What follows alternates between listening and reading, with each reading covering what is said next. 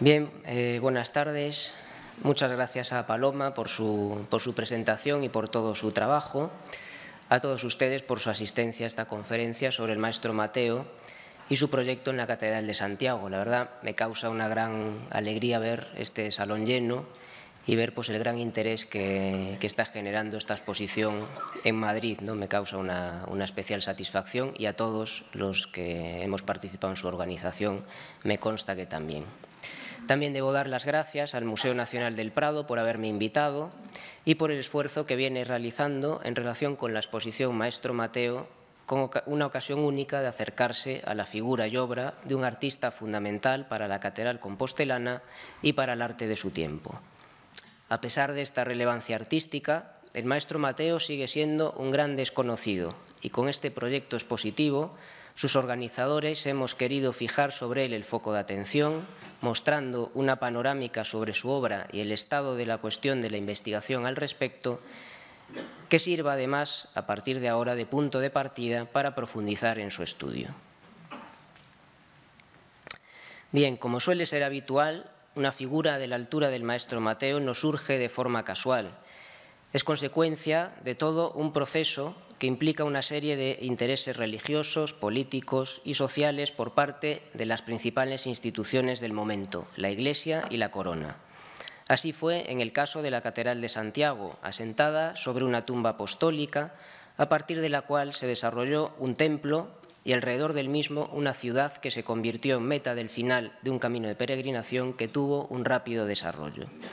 El proyecto del maestro Mateo, concluido cuatro siglos después del descubrimiento de los restos del apóstol Santiago, supuso el punto culminante a ese proceso, por lo que es necesario hacer un rápido repaso a los orígenes de la catedral compostelana y a su evolución hasta que en la década de los 60 del siglo XII se inicia el proyecto mateano.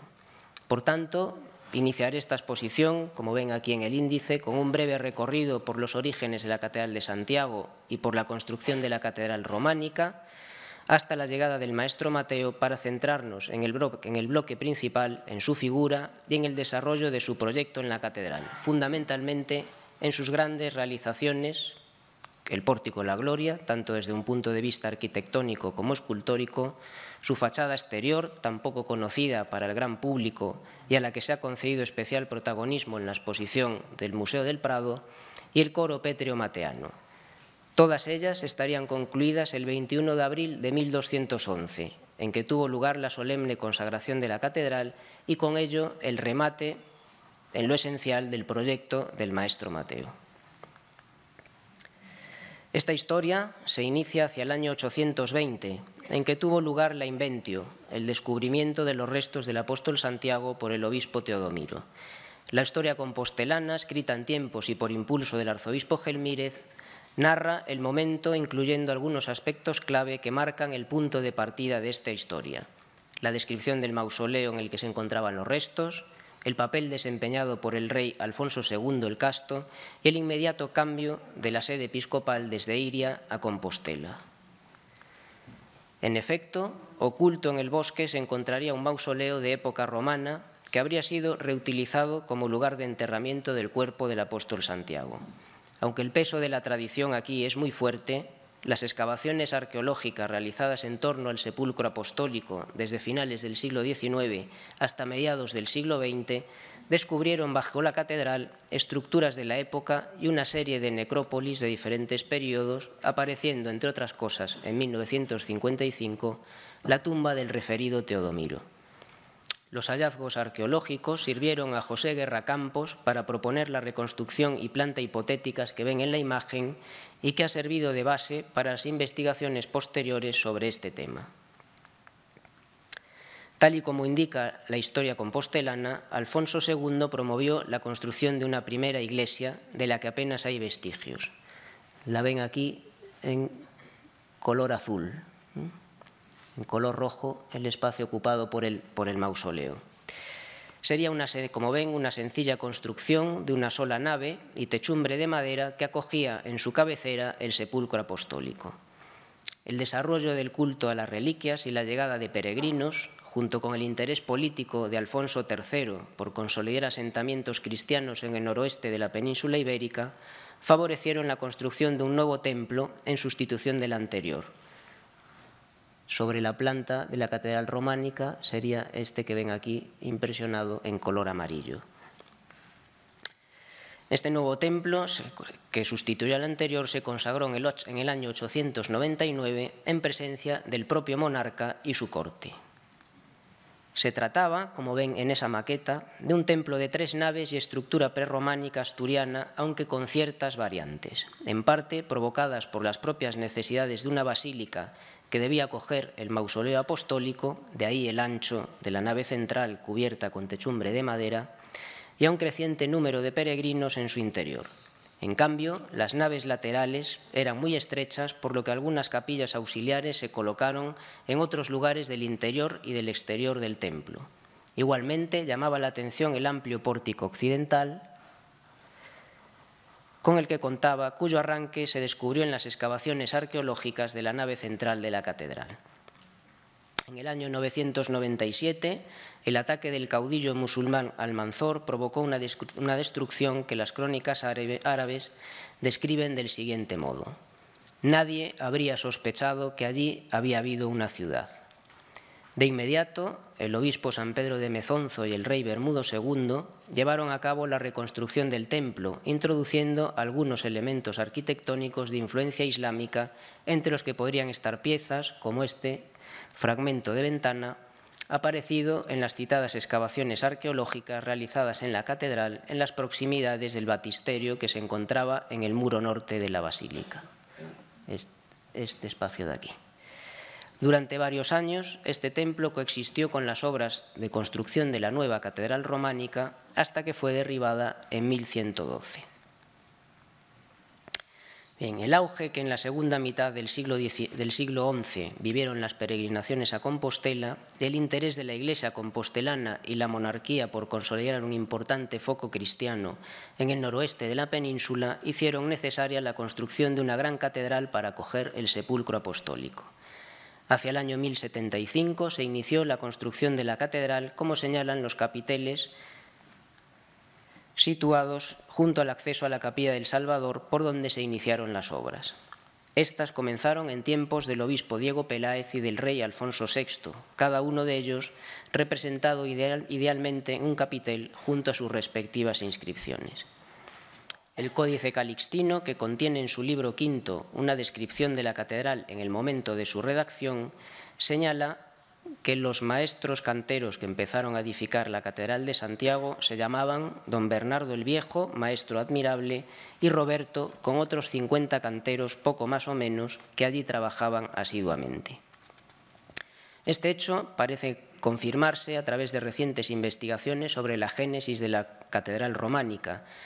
de la que nos hablará como antes comentaba Paloma, dentro de este pequeño ciclo dedicado a la, exposición Maestro Mateo y, y, a la Catedral de Santiago, el profesor José Luis Senra en su conferencia del próximo mes de febrero. Igualmente nos comentará sobre el gran poder de atracción que las obras tuvieron, convirtiendo Compostela durante la construcción de su catedral en un importantísimo foco artístico para toda Europa, concentrando maestros, canteros de diversos lugares, principalmente franceses e italianos. El enfrentamiento entre el obispo Diego Peláez y Alfonso VI, que provocó el encarcelamiento y destierro del primero, supuso en 1088 una ralentización de las obras y la, y la disolución de los talleres que estaban trabajando en la catedral hasta el año 1094 en que tienen un nuevo y renovado impulso de la mano del maestro Esteban, que aporta una nueva perspectiva arquitectónica y bajo cuya dirección se acabará la obra de la Girola. En estas dos primeras etapas, por lo tanto, más o menos nos encontraríamos aquí en el proceso de construcción de la catedral. En 1101, Esteban aparece trabajando en la Catedral de Pamplona y ese mismo año es consagrado obispo Diego Gelmírez, un personaje fundamental eh, para la consolidación del proyecto compostelano y también para el avance en la construcción de la Catedral románica, para el que contó con importantes maestros foráneos, fundamentalmente franceses. En el año 1120, Gelmírez sería nombrado arzobispo, pasando la sede compostelana a ser archidiócesis. Diego Gelmírez era un personaje muy culto, que había viajado por Europa, tenía importantes contactos, sobre todo con el papado y con la Orden de Cluny, un apoyo que sería fundamental para las obras de la catedral también desde un punto de vista conceptual. Remodeló el cabildo y promovió que sus miembros se formasen en las mejores universidades europeas de la época, algo que sin duda tuvo gran influencia en los programas arquitectónicos e iconográficos de la catedral y en la presencia en la ciudad de importantes maestros y canteros foráneos. Un ambiente en el que crecería el maestro Mateo y que sin duda le permitiría, más allá de sus posibles viajes formativos, adquirir el conocimiento del arte que se hacía en diversos lugares y reinterpretarlo en su proyecto catedralicio. En el año 1105, Gelmírez consagró los altares de la Girola y el nuevo altar de plata de la Capilla Mayor, construido por iniciativa del propio prelado en sustitución del antiguo altar pétreo para dignificar este espacio. Seguidamente, se inició la construcción del crucero y de sus capillas, donde destaca el trabajo desarrollado por el llamado maestro de platerías, que implantó el módulo que marcó las armoniosas proporciones de la catedral románica organizada a base de tramos.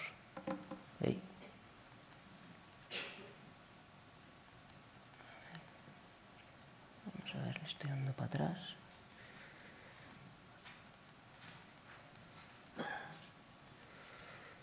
Aquí pueden ver los tramos de los que les hablo, tramos, espacios entre columnas con su tribuna superior. Bien. También en este momento se cubrió el crucero con un cimborrio y se avanzó en las obras de la tribuna y en la decoración de los capiteles. De este modo, el desarrollo de los trabajos permitió derribar en 1112, como les comentaba antes, la vieja basílica de Alfonso III asentándose en su lugar el primero de los coros con los que habría de contar la catedral a lo largo de su historia. También en época gelmiriana se llevaron a cabo las dos fachadas del crucero, la sur y la norte, platerías o el paraíso también llamadas, sustituida tras esta última sustituida tras sufrir un incendio en 1758 por la actual de la azabachería.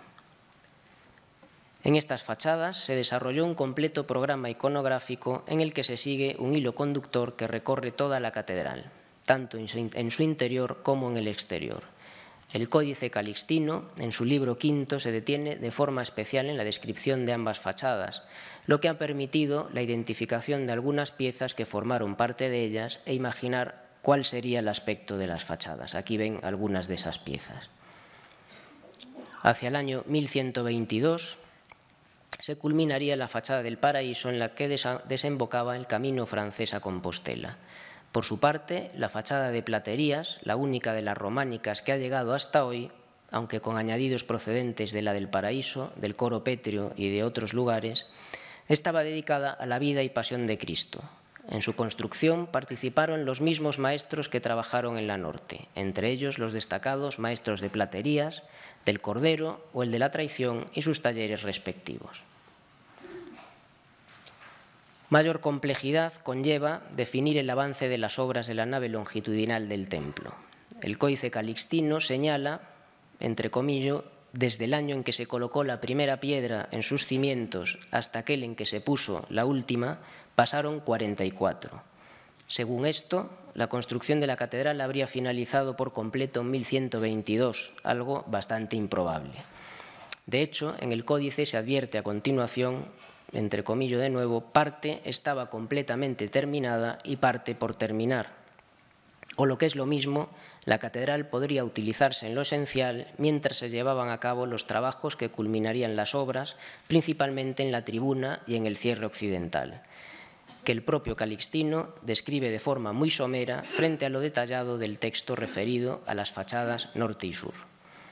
Gelmírez habría fallecido hacia 1140 y tras él se produce una rápida sucesión de varios prelados, sin una figura de referencia que apoye el proyecto de construcción de la catedral, al tiempo que desde la corona, por, su parte, Alfonso VII, que se había criado en Galicia y que había sido coronado rey de Galicia por el propio Gelmírez, estaba más centrado en Castilla, con lo que no se ocupó de las obras de la catedral. Por último, otros factores, como el gran desnivel existente a medida que se avanzaba hacia el oeste, también había ayudado a ralentizar la culminación de la construcción de la catedral. Este sería, a grandes rasgos, la situación eh, hacia 1168 o hacia la década de los 60 del siglo XII, cuando el maestro Mateo eh, tomó la dirección de las obras de la catedral. Existen diversas teorías sobre la situación de la catedral hacia el año 1160, unas defendiendo la existencia de un cerramiento occidental completo y otras descartándolo. Del análisis estilístico y arquitectónico de los elementos situados en los tramos de las naves y del pórtico de la gloria y su cripta, teniendo en cuenta todo lo que anteriormente les he descrito, parece altamente improbable que la catedral estuviera terminada y que Mateo actuase sobre elementos preexistentes. Tampoco se justificaría de este modo la fuerte apuesta que la Iglesia compostelana y el rey Fernando II hicieron para que Mateo llevase a cabo su proyecto en la catedral y que éste comenzase precisamente por acometer los trabajos del cerramiento occidental del templo. Sea como fuere, lo que resulta evidente es que el 23 de febrero de 1168 Fernando II de León otorgó en Compostela una generosa pensión vitalicia al maestro Mateo por la dirección de las obras de la Catedral de Santiago. De este modo, como algunos de sus antecesores que hemos ido viendo, la monarquía leonesa volvía a erigirse en la gran mecenas del santuario apostólico y en este caso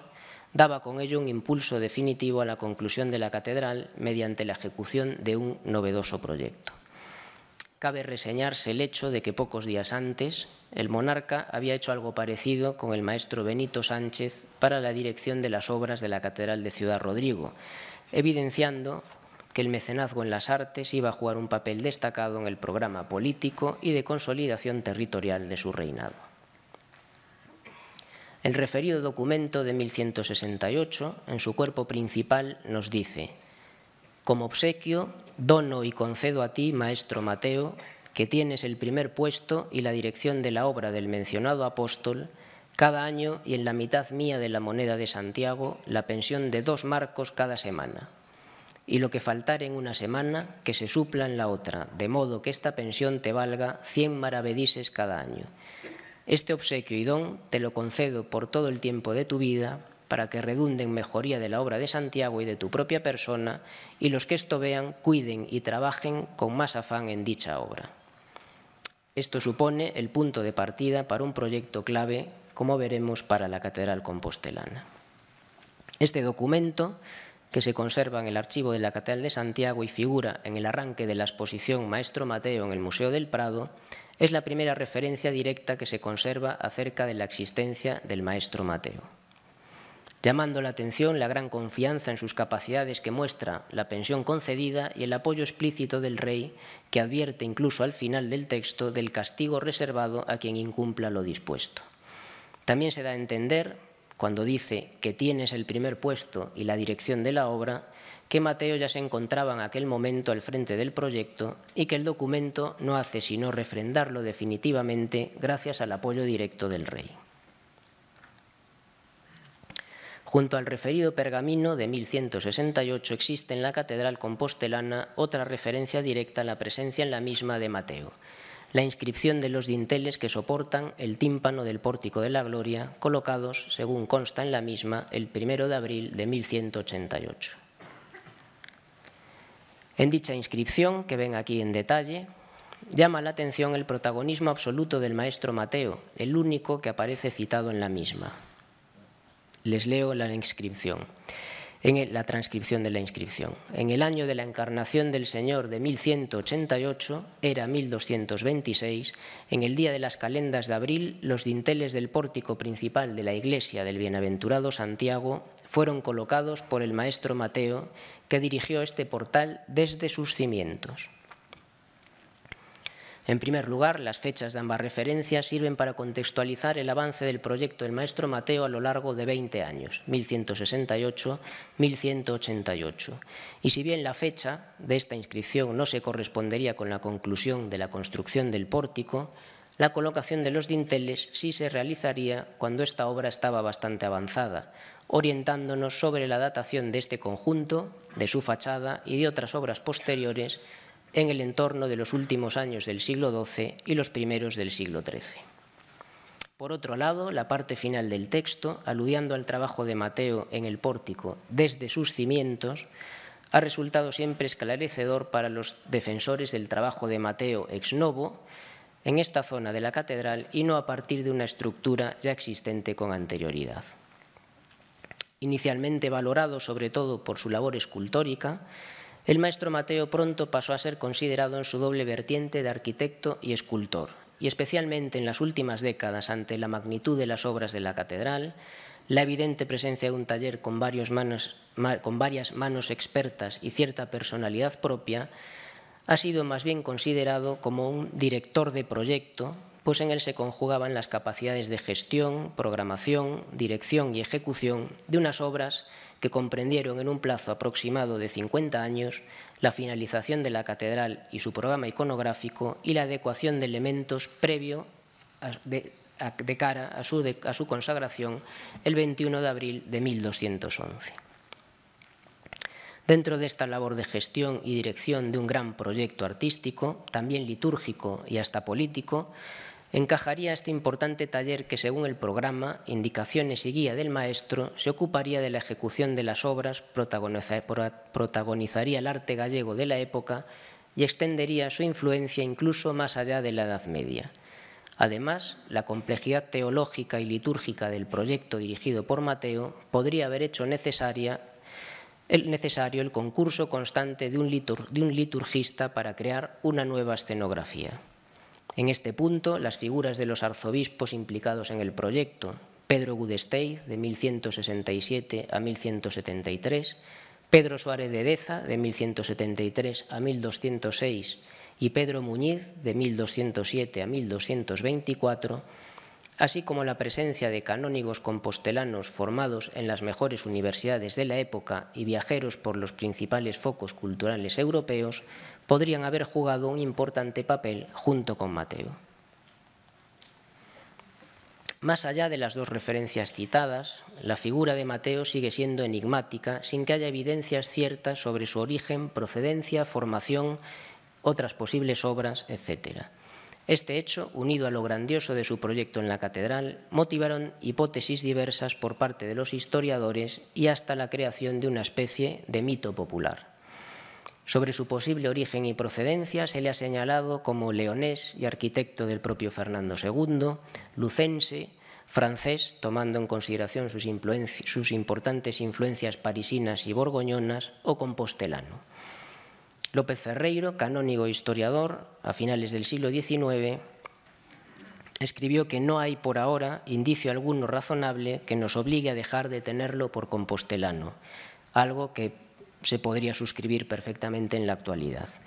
Fuera cual fuese su procedencia, no cabe duda de que el maestro fue un personaje excepcional, capaz de llevar a cabo un magno proyecto en la catedral y de incorporar y armonizar en el conjunto influencias diversas que conocía y dominaba, sin duda por contar además con una sólida y completa formación. Dentro del terreno casi de lo legendario, de este mito que les hablaba, se encuentra en la biografía hipotética escrita por Figueira Valverde en 1948, basada en la interpretación de diversos documentos medievales gallegos que le permitieron incluso plantear un árbol genealógico de la familia de Mateo hasta el siglo XIV, o la novelada de Neira de Mosquera de 1850, leerla es una auténtica delicia, quien además de recrear el momento en que Fernando II le nombra maestro de obras en presencia del arzobispo compostelano, señaló también que el maestro se habría representado en el conjunto del pórtico, concretamente en la figura del ángel que porta la columna de la flagelación en uno de los ángulos del tímpano del pórtico, y tras ser reprendido por el arzobispo pasó a hacerlo, abro comillas, bajo sus dinteles, Allí vamos a colocarnos, ponía el autor en boca del propio maestro. Nos haremos un retrato, esculpiremos un símbolo. Será un artista cualquiera y no el maestro Mateo el que contemplará desde el pórtico de la gloria al apóstol Santiago sentado en el tabernáculo de la capilla mayor. De esta manera devuelve el artista a Dios la chispa de la luz celestial que ha depositado en su cabeza. Es posible que en este caso Neira de Mosquera acierte en su apreciación y la escultura sea toda una reivindicación del papel desempeñado por el artista como mediador entre la devoción y la divinidad, una representación del artista con mayúsculas en un hecho inédito en los años finales del siglo XII, sobre todo en la península ibérica. En efecto, la imagen arrodillada de un personaje de rizada cabellera, situada en el reverso de la base del parteluz del Pórtico de la Gloria, portando una cartela borrada en su mano izquierda, donde la tradición señala que pondría arquitectus, completado por el fechit, que aún se aprecia aquí en el basamento,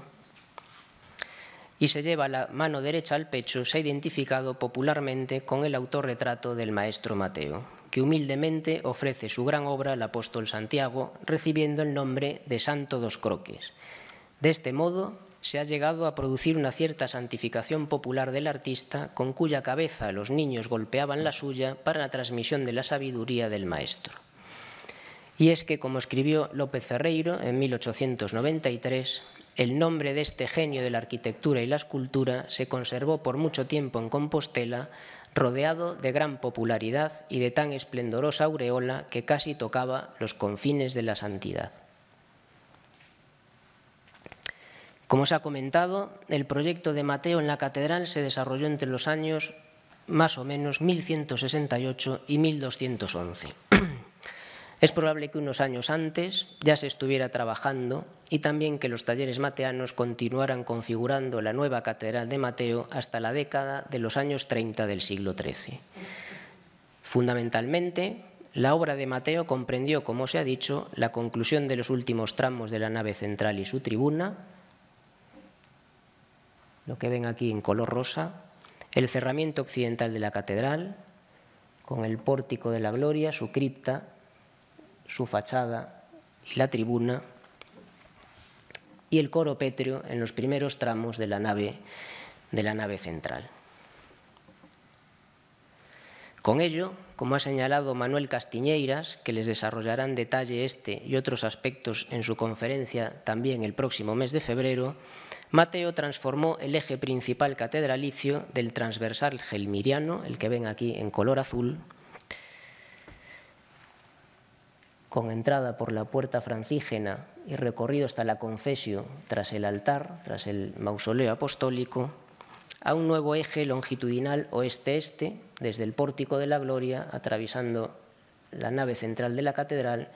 hasta el altar, presidido por una nueva imagen de Santiago Sedente que luego veremos.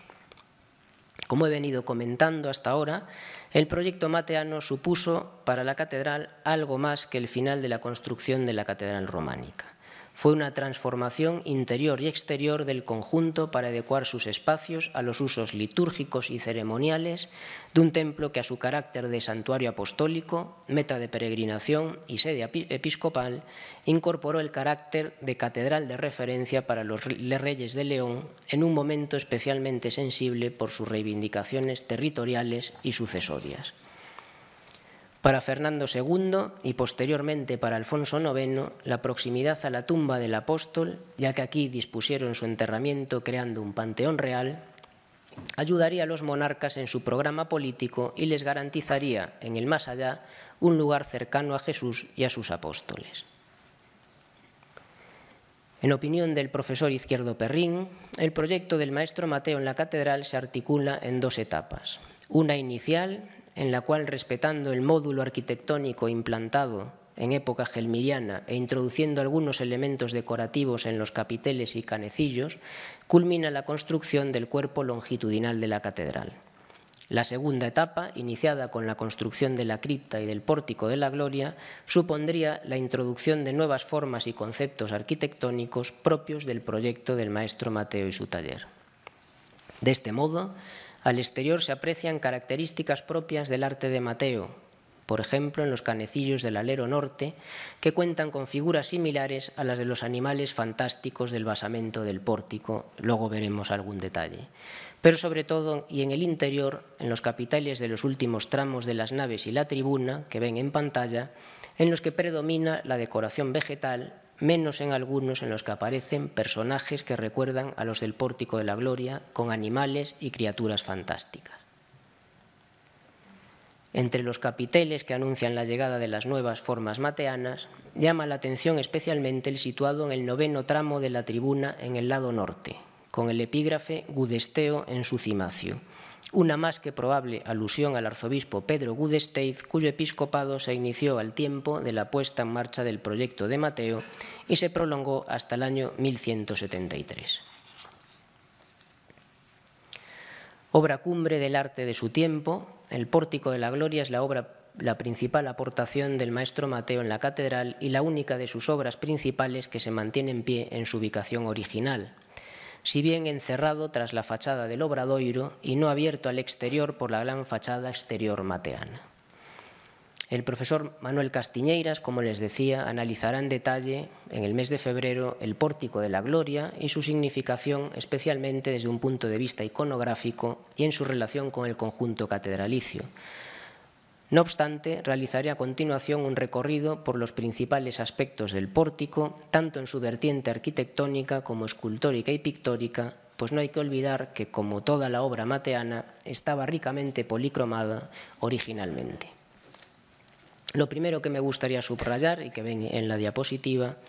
a la hora de hablar del pórtico de la gloria es que este es algo más que una pantalla escultórica de contenido apocalíptico. Se trata de un espacio arquitectónico organizado en tres niveles en altura. Primero la cripta, el pórtico y su fachada exterior y la tribuna. Todos ellos están estrechamente relacionados arquitectónica, funcional e iconográficamente, no pudiéndose entender una parte sin el todo. El avance de la construcción de las naves de la catedral se encontró hacia sus últimos tramos con el acusado desnivel del terreno de más de seis metros de altura y quizás fue una de las causas de que el proyecto gelmiriano se viera ralentizado en determinado momento. Para evitar este problema, el maestro Mateo aportará una solución genial y novedosa, como fue la construcción de una cripta de gran complejidad estructural e influencia francesa, esta cripta, también llamada Catedral Vieja, se organiza en torno a un pilar con ocho columnas que ven en el centro de la fotografía, con ocho columnas adosadas sobre el que se asientan los arcos que sustentan las bóvedas de su deambulatorio hacia la cabecera y del crucero, cubierto con unas bóvedas de crucería innovadoras para su época. Sobre este gran pilar se asienta en el piso superior el parteluz del Pórtico de la Gloria. Esta organización del espacio sigue modelos del primer gótico francés, fundamentalmente del área parisina, en las décadas centrales del siglo XII y, por tanto, son casi coetáneos del trabajo de Mateo en la catedral. Todo ello, junto a su decoración escultórica, llevan a identificar esta estructura como plenamente mateana, descartando la posibilidad de que Mateo interviniera en una construcción previa finalizada, aunque sí es posible que hubiera habido algún ensayo constructivo en su entorno con anterioridad. Además de formar parte del Pórtico de la Gloria en lo estructural, la cripta también participa de su programa iconográfico, pues simboliza el mundo terrenal previo a la gloria que se representa en el nivel superior. Y al contrario de este, necesita de los astros para iluminarse, lo que explica que las bóvedas de los dos tramos centrales del transepto tengan por clave sendos ángeles astróforos que portan respectivamente el sol y la luna.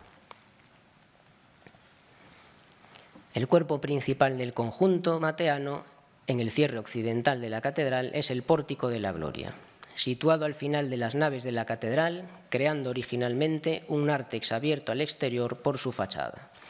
Se trata, ya la conocen, de una obra cumbre del arte de su tiempo que nos cuenta el relato apocalíptico, podemos resumirlo, como hizo Serafín Moralejo, del siguiente modo asistimos a la redención de los hierros cometidos en la antigua alianza, en el arco de la izquierda, a la instauración de una nueva que se consuma en el juicio final evocado en el arco de la derecha y en la gloria del arco central. Entre las muchas descripciones y valoraciones acerca de la significación del pórtico, Puede citarse la de George Edmund Street hace poco más de un siglo, en pleno proceso de revalorización de esta obra por parte de autores foráneos, entre comillas, no puedo menos de confesar que este esfuerzo del maestro Mateo es una de las mayores glorias del arte cristiano. Por su parte, desde un punto de vista más contemporáneo, el escritor gallego Manuel Rivas lo ha calificado como la primera gran película de la humanidad rodada en piedra. Vamos a ir, como les comentaba, haciendo un breve recorrido por las partes principales de este conjunto. Bien, Mateo, como antes comentaba, respetó el esquema arquitectónico en la finalización de las naves, introduciendo en el pórtico un nuevo lenguaje que se hace evidente en los mismos basamentos de mayor altura que en el resto del templo y en los cuales, en lugar de plintos y basas, introduce animales reales y fantásticos y enigmáticos personajes a los que se han dado diversas identificaciones y que parecen quedar oprimidos bajo la magnificencia del propio pórtico, probablemente significado el mal oprimido por la gloria de Dios. En el basamento del parteluz, este de aquí,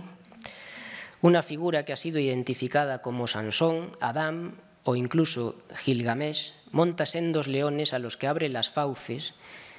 que se comunican creando un canal de ventilación y sin duda también simbólico con la cripta del pórtico de la gloria.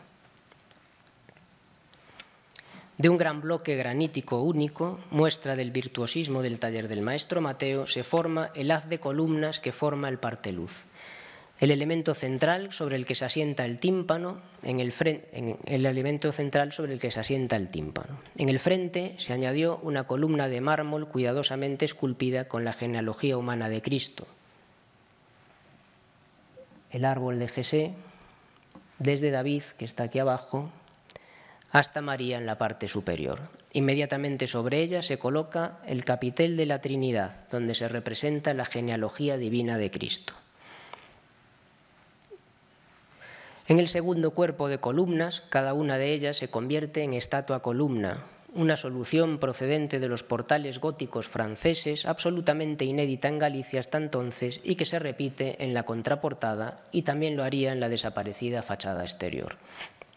Se representan a un lado profetas y al otro apóstoles, si bien al haberse borrado las cartelas de las figuras de los extremos, solo se han identificado con seguridad los magníficos conjuntos de profetas, Jeremías, Daniel, Isaías y Moisés del lado izquierdo y apóstoles Pedro, Pablo, Santiago y Juan del derecho. La individualización de los rostros, la complejidad, la complicidad que se establece entre los personajes, que se miran, dialogan entre ellos, son una de las grandes aportaciones del arte del maestro Mateo y uno de los detalles que más nos siguen llamando la atención. Como describió magistralmente Álvaro Cunqueiro, el pórtico está hecho de diálogos y un oído atento podrá más de una vez recoger noticias de sucesos, confesiones y sorprender oscuras nostalgias. Por su parte, Santiago está presente por duplicado en el pórtico de la gloria. Sin duda, el más conocido y una de las representaciones que tuvieron mayor influencia y desarrollo en los dos siglos posteriores es la situada en la parte superior de la columna del parteluz. Aquí ven un detalle y aquí la ven completa. Santiago aparece sobre una cátedra que se levanta sobre leones, en alusión al trono de Salomón, y en su mano izquierda porta un báculo en tau, mientras que en la derecha lleva una cartela en la que se leía Misit me dominus, me envió el Señor, afirmando con ello la predicación apostólica en Hispania y justificando así la presencia en Santiago de sus restos. En las magníficas estatuas columna que, sujetan el tímpano se encuentra junto a otros apóstoles la segunda de las representaciones de Santiago el Mayor en el pórtico, que es este de aquí. En este caso lleva un libro cerrado en la mano derecha y otro báculo en tau que aquí aparece cubierto por un rico paniselus. Sobre la iconografía de Santiago cerrará este ciclo de conferencias y ya acabo con la publicidad con motivo de la exposición. El próximo mes de marzo, Fernando Pérez Suescun, del área de educación del Museo del Prado. Vamos al tímpano, sin duda, la parte más conocida y que suscita un mayor interés al público. A nivel técnico, llama la atención el sistema utilizado por el taller del maestro Mateo, que tallaba las piezas por separado y posteriormente las encastraba en el conjunto utilizando soportes metálicos en la parte trasera para su fijación al muro. El tímpano se asienta sobre los grandes dinteles en los cuales se encuentra la citada inscripción de 1188 referida al momento de su colocación bajo la dirección del maestro Mateo. En el interior del tímpano se reproduce la visión apocalíptica de San Juan, el capítulo cuarto. Vi que había un trono en el cielo y uno sentado en el trono, y en torno al trono cuatro seres. El primer ser es como un león, el segundo ser como un novillo, el tercer ser tiene un rostro como de hombre, el cuarto ser es como un águila, en clara alusión al Cristo en majestad que preside el tímpano, y a las imágenes y símbolos de los cuatro evangelistas que le rodean. Alrededor de todos ellos se encuentran los bienaventurados, el pueblo santo que cantan un cántico nuevo delante del trono y de los cuatro seres y de los ancianos. Estos son los que vienen de la gran tribulación y lavaron sus vestidos y los blanquearon en la sangre del cordero. Por eso están ante el trono de Dios y le rinden culto día y noche en su templo. Completando el conjunto,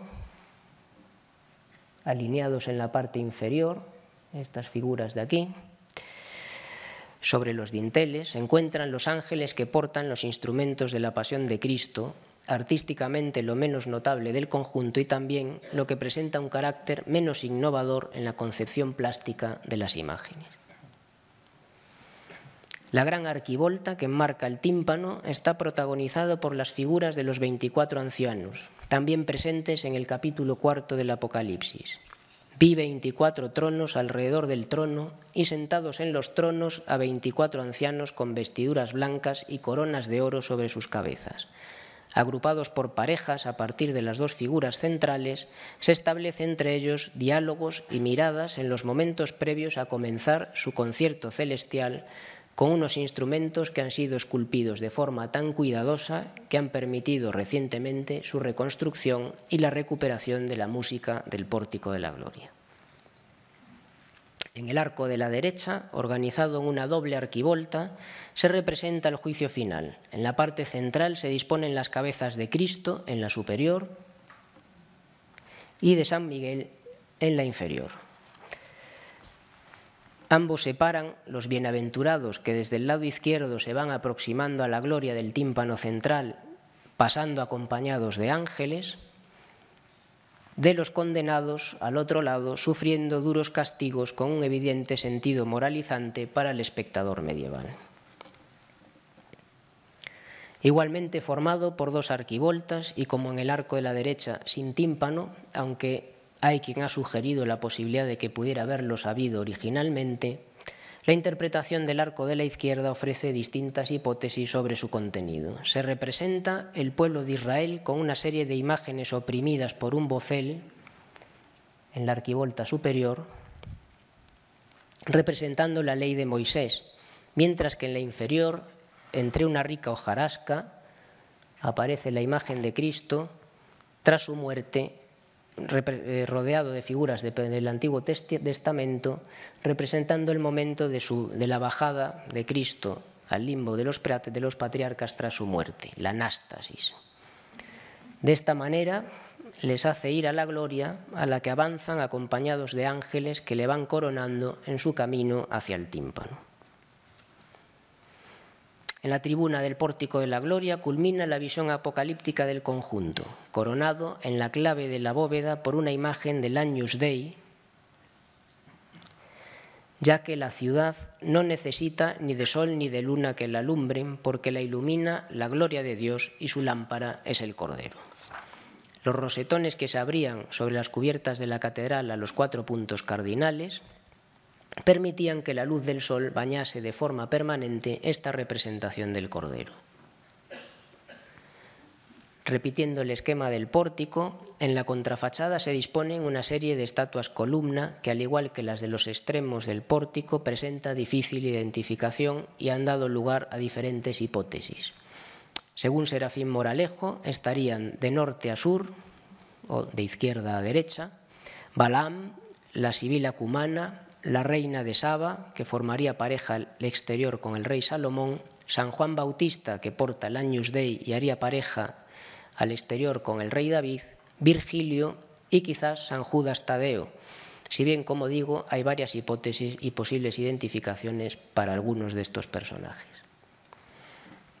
Como el resto del conjunto mateano, y antes les comentaba,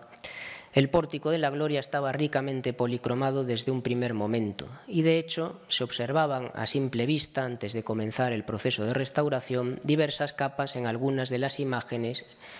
que hemos ido viendo, por ejemplo, se veían en algunas de ellas. Los estudios y distintas pruebas que se han llevado a cabo durante el proyecto de restauración han permitido ir identificando estas capas y las características de cada una de ellas, y a partir de esta documentación plantear una posible reconstrucción hipotética de al menos tres de ellas.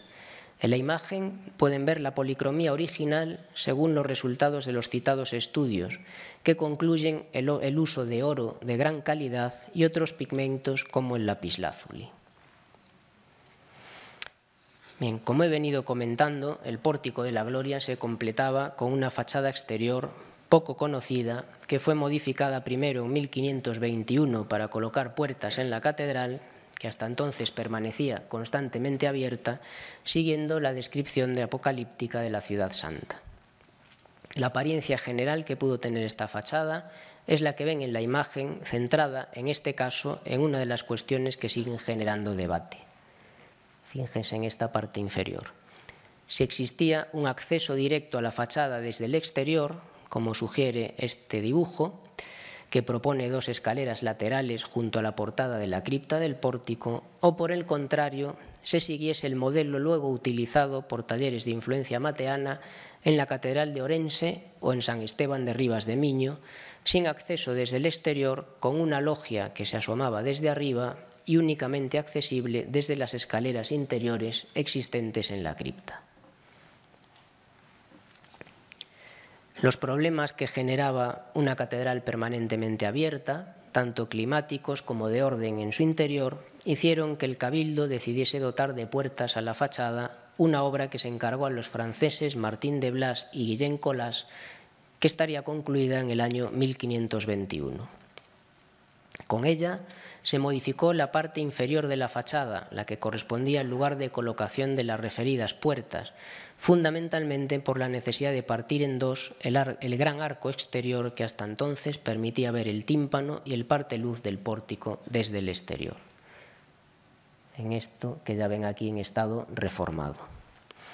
El dibujo que ven en pantalla, realizado por el canónigo Vega y Verdugo en el año 1657 para su memoria sobre las obras en la Catedral de Santiago,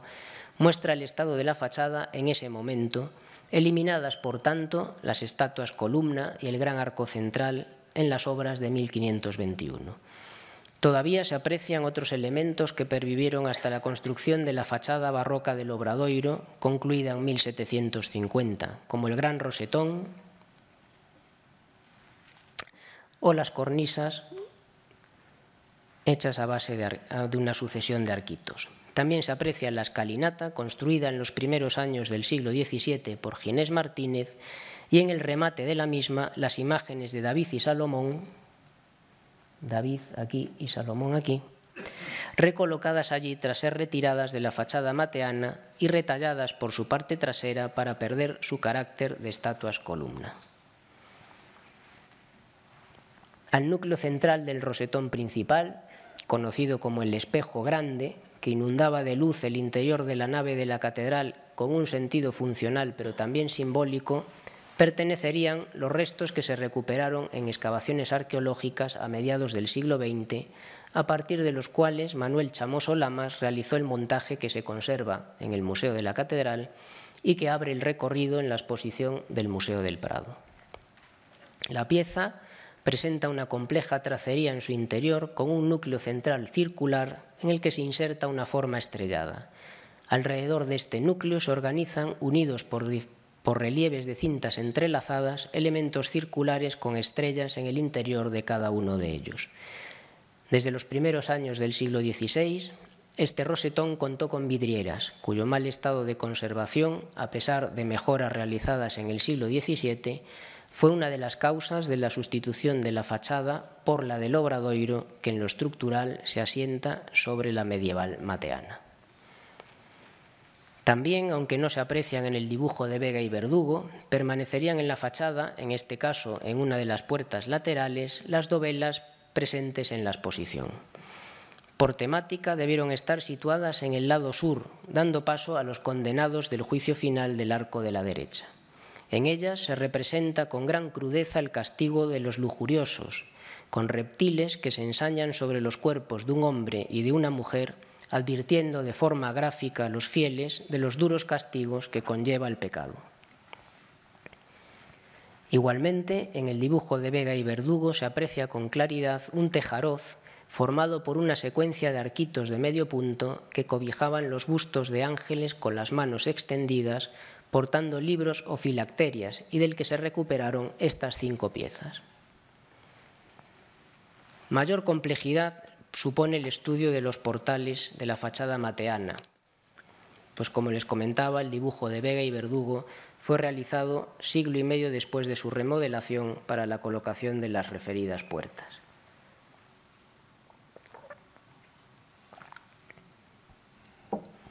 A partir de algunas piezas que se han ido recuperando y de la búsqueda por parte de distintos investigadores de posibles similitudes en otros lugares, se han planteado diversas hipótesis sobre cómo habría sido esta portada y en lo que se refiere a su decoración escultórica, qué personajes aparecerían representados y en qué orden, siempre en relación con la contrafachada y el propio pórtico de la gloria. Una de las hipótesis publicadas, la única que aporta una distribución más o menos detallada de la colocación de las imágenes, es la que ven en la pantalla, planteada por el profesor Otero Túñez en el año 1999 y dibujada por el arquitecto José Ramón Soraluce. En el dibujo de la hipótesis de Otero se aprecia el gran arco central de la portada formado por varias arquivoltas, que permitía a través de sus casi ocho metros de luz ver al interior el tímpano y el parteluz del pórtico. Sus dimensiones obligaron, como consta en la documentación capitular, a su retirada y a partir en dos la portada principal. Parte de las piezas del arco fueron reutilizadas como material de relleno en la obra del claustro catedralicio, siendo recuperadas en unos trabajos de restauración en una de sus crujías en el año 1965. A partir de estos restos, Manuel Chamoso realizó un montaje que se expone en el Museo Catedral conservándose algunas otras piezas, sobre todo de la arquivolta interior, en sus almacenes. La clave del referido arco central podría ser la pieza conservada en el Museo Catedral, identificada como tal por el profesor Izquierdo Perrín. Siguiendo el programa iconográfico de la cripta y anticipando la gloria del interior, presenta a dos ángeles astróforos portando en sus manos veladas respectivamente el sol llameante y la luna creciente.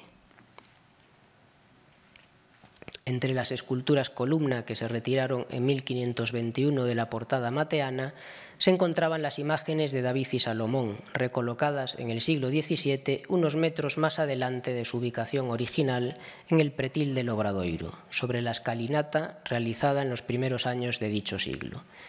Ambas piezas se retallaron en su nueva colocación, identificándolas además por sendas inscripciones en la parte trasera de sus tronos. Y allí han permanecido hasta que se han retirado para su restauración previa a su exposición en el Museo del Prado, siendo la primera vez que han abandonado la Catedral Compostelana. Otero, en su reconstrucción hipotética, las coloca David a la izquierda y Salomón a la derecha, tal cual estaban en el pretil, si bien tal vez a ponerlas en relación con las imágenes de la contrafachada estuvieran intercambiadas, coincidiendo Salomón con la reina de Saba y David con San Juan Bautista. En todo caso, junto a otras posibles representaciones de esta fachada, ambas piezas harían alusión, como ha señalado Moralejo, a la genealogía humana de Cristo. En la figura de Salomón, nos llama la atención lo desproporcionado y tosco de su cabeza, que si la ven en la exposición todavía les chocará más. un añadido barroco obligado probablemente por la caída de un rayo en 1729 que según la documentación capitular derribó porción de una figura de piedra. Junto a las anteriores, probablemente flanqueando la portada del lado norte, se encontrarían las dos figuras de profetas actualmente conservadas en una colección particular y también expuestas en el Museo del Prado. Aunque hay distintas hipótesis sobre su identificación, la más aceptada hasta la fecha es la propuesta por Serafín Moralejo, que los identifica como Abraham e Isaac, insistiendo en las parejas de padres e hijos relacionados con el linaje de Cristo a modo de vocación de los reyes leoneses Fernando II y Alfonso IX. Estas piezas, junto con otras, fueron rescatadas en el siglo XVIII de los jardines del Colegio de Fonseca, muy, cercano a la catedral, por el conde de Simonde, don Pedro María Cisneros. En 1933, en el caso concreto de estas dos piezas, fueron identificadas por Fermín Bouza Brey y en 1948 fueron vendidas por, el, por la familia del conde de Simonde al Ayuntamiento de Santiago. Posteriormente, el consistorio se las regaló al general Franco, que las depositó primero en el Pazo de Meirás y posteriormente en la casa familiar del centro de La Coruña. Al grupo de piezas recuperadas por el conde de Simonde también pertenecen las dos adquiridas a su familia en 1956 por el Museo de Pontevedra, a cuyos fondos siguen perteneciendo. En 1909 fueron identificadas en la casa de los Simonde por el canónigo e historiador López Ferreiro, tras lo que pasaron a formar parte de la exposición regional gallega celebrada ese año en Santiago quedando depositadas a continuación en el Colegio de San Clemente y en 1928 trasladadas al recién creado Museo de la Catedral, donde permanecieron hasta la década de los años 50, en que retornaron a sus propietarios por un corto periodo de tiempo previo a su ingreso en el Museo de Pontevedra. En este caso,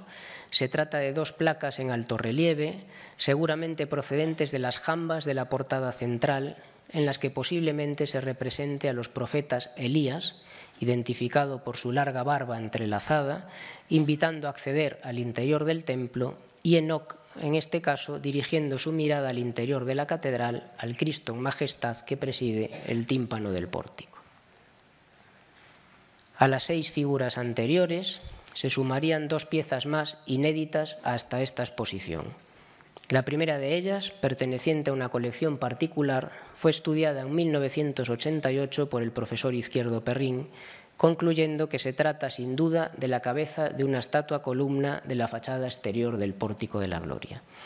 En este caso sería una pieza esculpida al margen del bloque del cuerpo, por lo que se dotó de un sistema de encaje que todavía conserva bajo su cuello. Estilísticamente presenta características propias del arte de Mateo y además está labrada con gran calidad, llevando casi a la mano del propio maestro. La segunda pieza ha sido recientemente descubierta el pasado 5 de octubre de 2016 en el transcurso de los trabajos de rehabilitación de la torre sur de la catedral. Allí, en un pequeño cuarto que ven en esta imagen, situado en la parte baja de la torre, al mismo nivel en altura que el propio pórtico de la Gloria, se encontraba enterrada seguramente desde su retirada de la fachada en 1521 con motivo de su reforma. Estilísticamente no hay duda de la relación de esta pieza con el arte del maestro Mateo y su taller y con la obra de la fachada exterior del pórtico. De hecho, todavía conserva en su parte trasera la columna a la que está adosada. Se trata de una figura muy estilizada, de más de 185 centímetros de altura, que debe ajustar su posición al lugar que ocuparía en la fachada, seguramente en una segunda fila de estatuas columna a continuación de las que estaban más al exterior. En sus manos, pegadas al cuerpo, porta una gran cartela que se encuentra completamente borrada y aunque la cabeza ha sido cuidadosamente destruida, conserva el nimbo, por lo que posiblemente estemos ante la imagen de otro profeta de la referida fachada mateana. Puede que, dado el tamaño de la cartela, se trate de Malaquías, el mensajero de Dios, lo que podría conectarlo con San Juan Bautista en la contrafachada, vinculando de este modo el final del Antiguo Testamento con el principio del Nuevo. Una novena pieza, también presente en la exposición, es la figura de un caballero decapitado que pertenece a un particular. También fue una imagen recuperada por el conde de Simonde, identificada por el canónigo López Ferreiro y presentada en 1909 en la exposición regional celebrada en Santiago.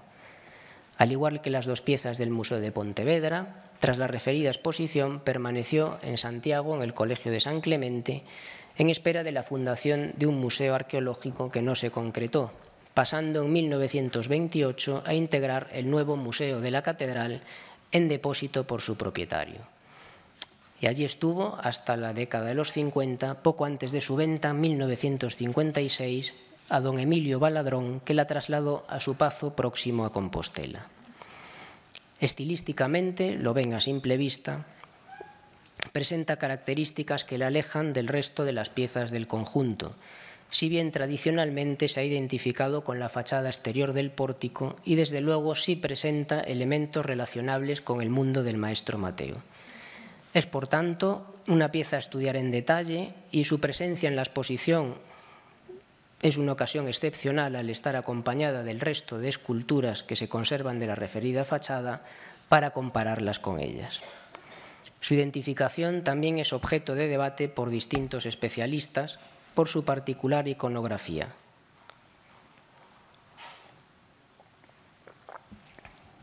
Una figura, como ven, de caballero sedente, que cruza su pierna izquierda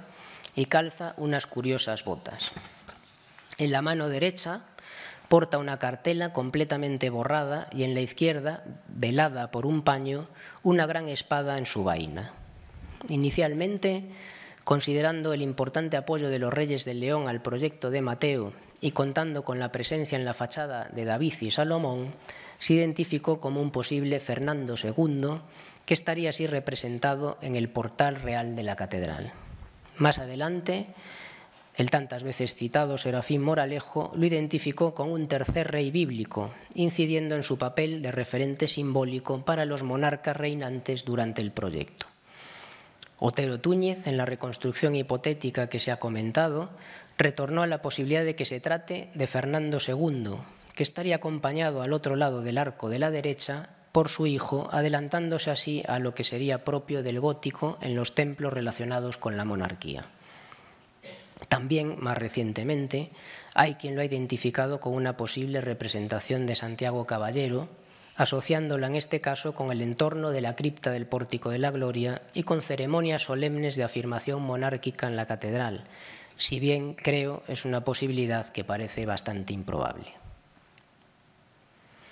Bien, la última gran obra del proyecto mateano en la catedral fue la construcción de un coro pétreo que en sustitución del sencillo coro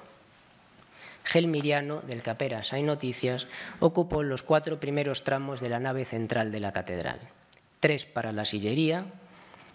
y un cuarto para el trascoro. Aquí ven su situación en la planta, esto correspondería al trascoro y esta sería el interior de la sillería. En la concepción del coro se continuaba el mensaje apocalíptico y salvífico del pórtico de la gloria, por lo que se trataba de un conjunto unitario e indisociable.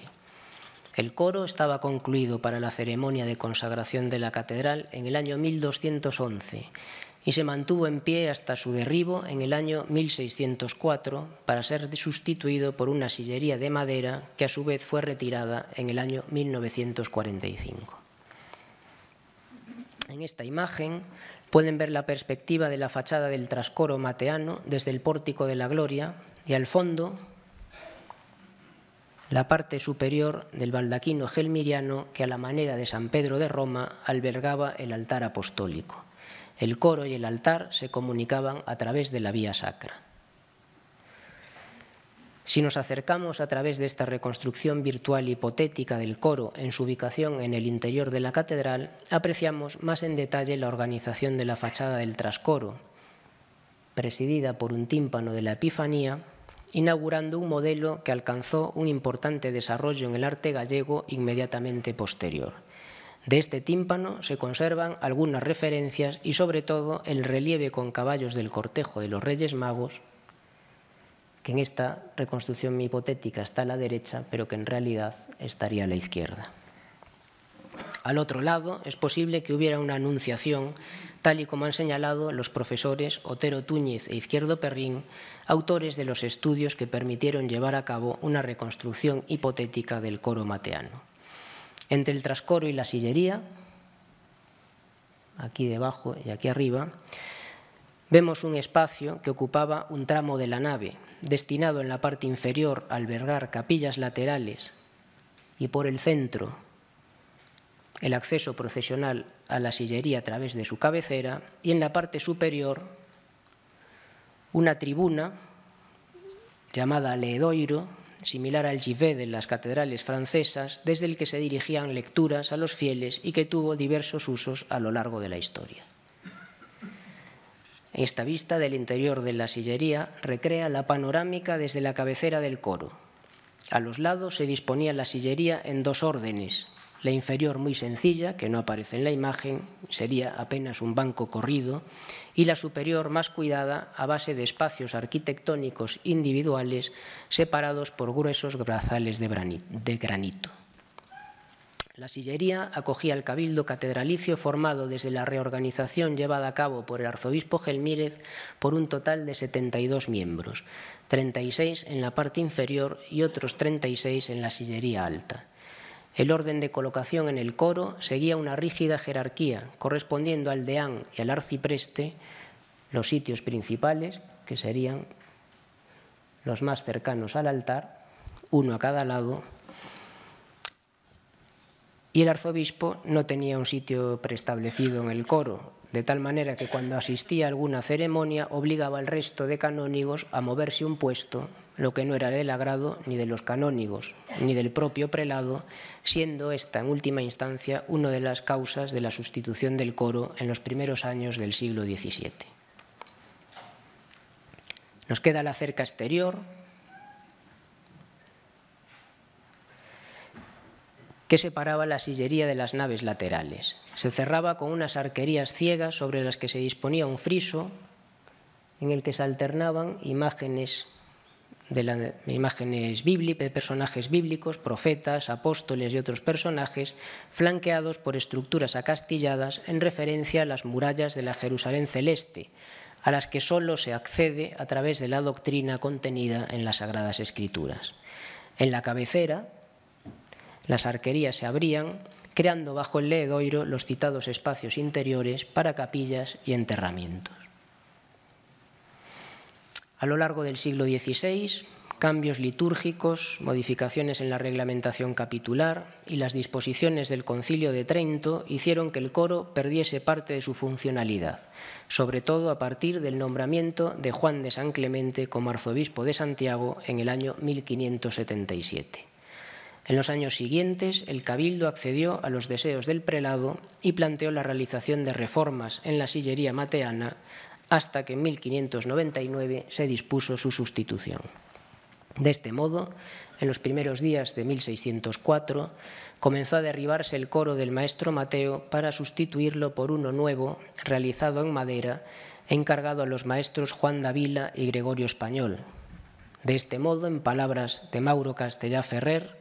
en 1610, que llegó a ver el coro en pie en la catedral, se había deshecho el más lindo coro antiguo que había en España. De la demolición se encargó Ginés Martínez, que construía al mismo tiempo la escalinata del Obradoiro y aprovechó para reutilizar en ella muchas piezas del coro.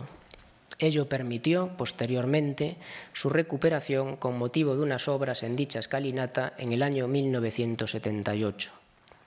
Otras piezas se utilizaron en distintos lugares de la catedral, por ejemplo, en la fachada de la Puerta Santa y fuera de ella,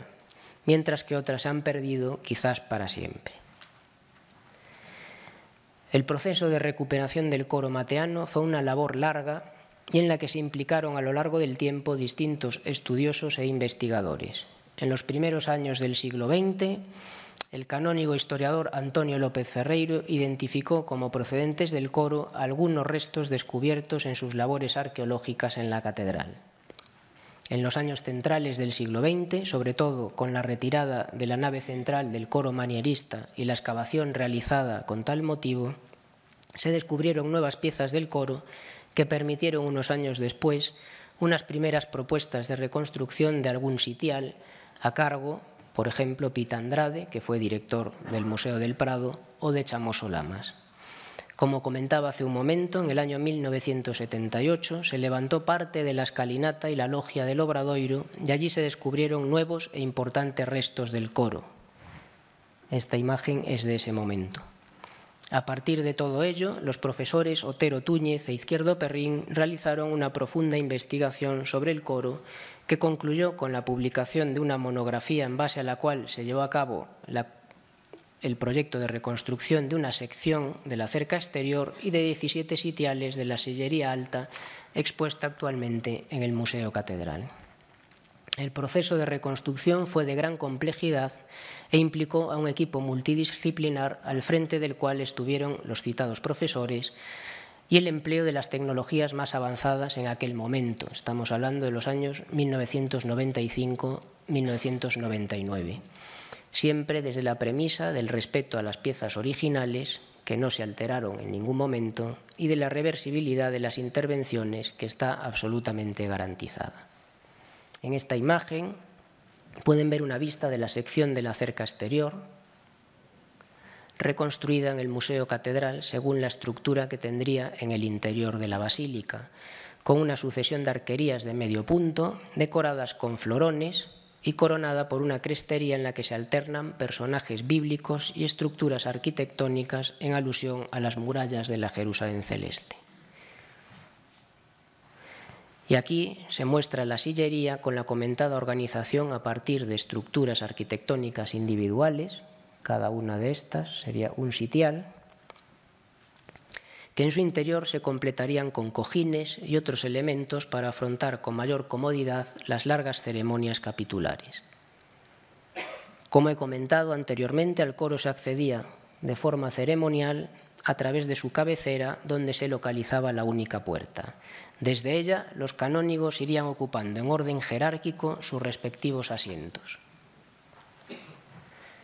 El principal esfuerzo decorativo, como en el exterior, se localizaba en la crestería. En el caso de la sillería, con un programa iconográfico más complejo y adaptado perdón, a los canónigos, que serían los únicos que lo verían,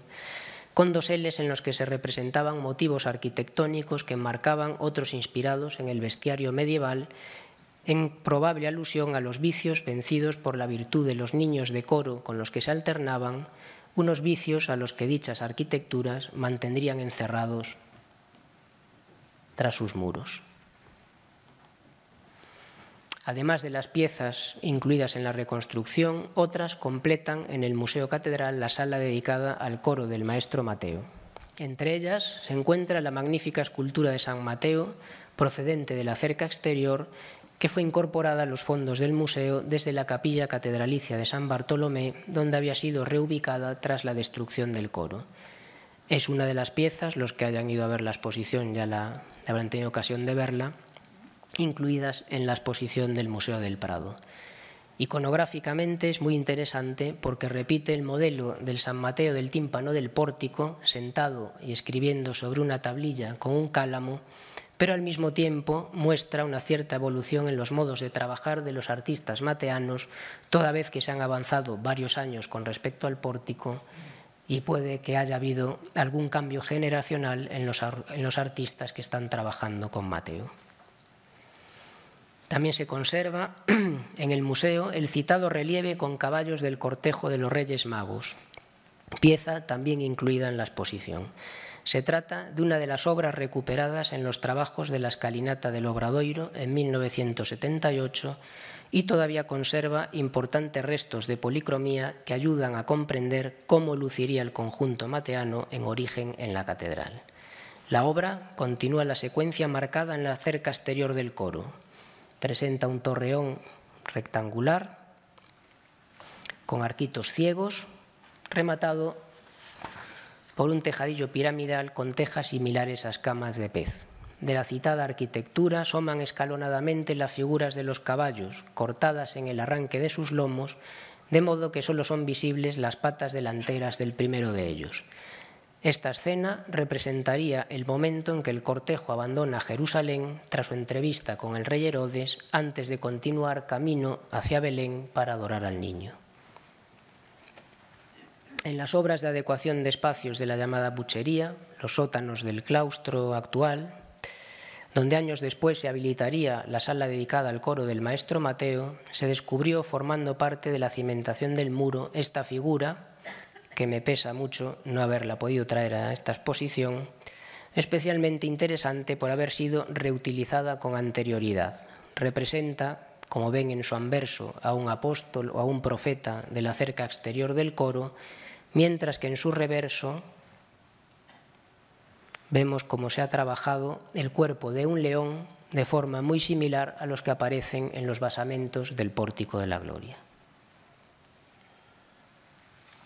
Dentro del proyecto mateano para la catedral y en relación con su impulso por parte de Fernando II y Alfonso IX, también estaba la creación de un panteón real, confirmando de este modo la función de la Basílica Compostelana como templo nacional de la monarquía leonesa.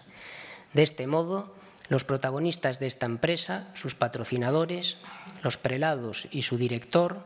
quedarían para la posteridad en distintos lugares de la basílica. En el caso de los reyes, descansarían junto a su patrón y protector Santiago para obtener su intercesión en el día del juicio final, tal y como dejó escrito Alfonso IX cuando en 1188 ordenó trasladar los restos de su padre a la catedral. Originalmente, el Panteón Real ocupó el extremo noroeste del crucero, junto a la puerta francígena, hasta su traslado a la Capilla de los Reyes en el lienzo norte del edificio claustral en el año 1535, momento en que seguramente se alteró el interior de las sepulturas y en el que se perdió el registro que las identificaba. Cuando en 1641 este espacio asumió también la función de capilla de las reliquias, se colocaron epígrafes en los sepulcros, si bien esta identificación ha sido discutida y razonada por Moralejo Álvarez, para quien el tradicionalmente considerado Fernando II, este que vemos aquí, sería en realidad Alfonso IX, y viceversa, mientras que el supuesto Ramón de Borgoña sería en realidad el infante Fernando Alfonso, heredero de Alfonso IX, fallecido en 1214 y que consta fue enterrado en la catedral. En esta nueva catedral del Maestro Mateo tenía un papel destacado, y lo sigue teniendo en la actualidad, la imagen pétrea de Santiago Sedente, aquí la vemos, inspirada en el apóstol del parteluz del Pórtico de la Gloria que colocó sobre el altar gelmiriano. La estatua sería la referencia final del fiel en la catedral en el citado eje longitudinal que sustituyó con el proyecto de Mateo al primitivo eje transversal. Desde un principio, la imagen fue objeto de atención por parte del Cabildo y de los peregrinos a Santiago, que asociaron a lo largo del tiempo ritos diversos en relación con esta pieza. Esta es la imagen, la conocerán bien la mayor parte de ustedes, en su estado actual, enmarcada por el rico platal barroco que sustituyó al de Gelmírez y muy alterada por diversos repintes y sobre todo por la esclavina ofrendada en 1704 por el arzobispo Monroy. En el año 2004, con la ocasión de la realización de la réplica de la esclavina que viste actualmente, la imagen se desvistió temporalmente, permitiendo una visión inédita de la misma. se observa cómo para la colocación, como para la colocación de la esclavina se retalló el cuerpo de la pieza que anteriormente ya había sido muy alterada al modificarse la posición de sus brazos. En todo caso, esta es la mayor aproximación que se puede hacer sobre la pieza original, que se parecería mucho a esto que vemos aquí. En esta miniatura del tumbo B de la catedral de hacia 1326,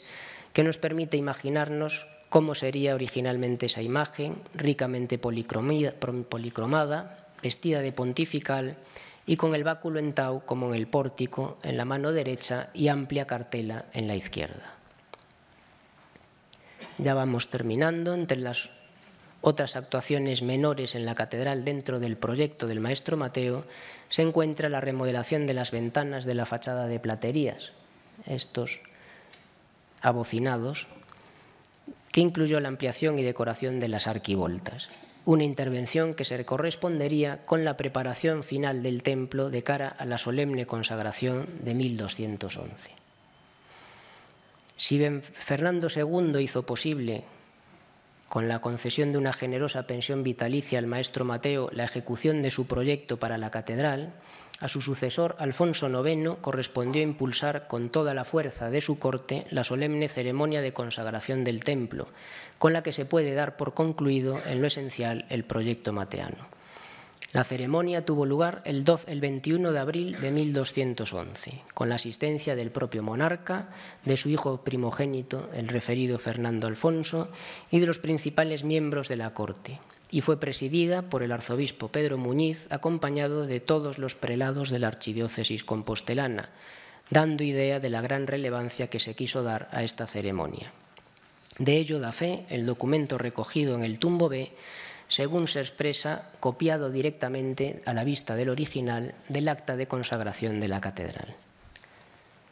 Elemento visible de la referida ceremonia son las doce cruces de consagración, obra del taller mateano, que todavía se pueden contemplar en diferentes lugares de la catedral, siete de ellas en sus ubicaciones originales, aunque alguna con ligeras modificaciones, mientras que las demás vieron alterada su posición en algún momento entre los siglos XIV y XVI. Esculpidas en relieve sobre granito, las cruces de brazos iguales se corresponden con un modelo estilístico que con ciertas variantes es particular de los periodos románico y gótico. De sus brazos transversales penden las letras alfa y omega, mientras que en su parte superior se disponen el sol y la luna. Una rosca circular enmarca el conjunto y es lugar para la inscripción correspondiente, que presenta un total de ocho variantes en las cuales la figura del arzobispo Pedro Muñiz y posible autor de los dísticos de las inscripciones, tiene un destacado protagonismo.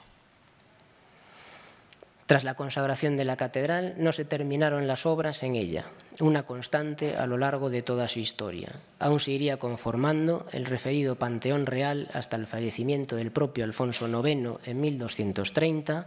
se afrontaría la construcción del claustro medieval, se efectuarían actuaciones en el Palacio Arzobispal, en una proyectada cabecera gótica que no se llegó a completar y hubiera significado una nueva transformación para el templo, etc. En todas estas obras y en otras que se realizarían en Compostela, el resto de Galicia y su área de influencia, los talleres mateanos iban a tener un importante papel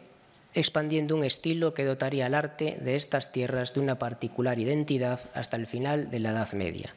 prolongando con ello en el tiempo la presencia del maestro Mateo y de su proyecto, una pervivencia que en el arte gallego y en sus artistas se ha mantenido inmarcesible hasta época contemporánea como una, como una referencia ineludible. Muchas gracias por su atención y feliz Navidad.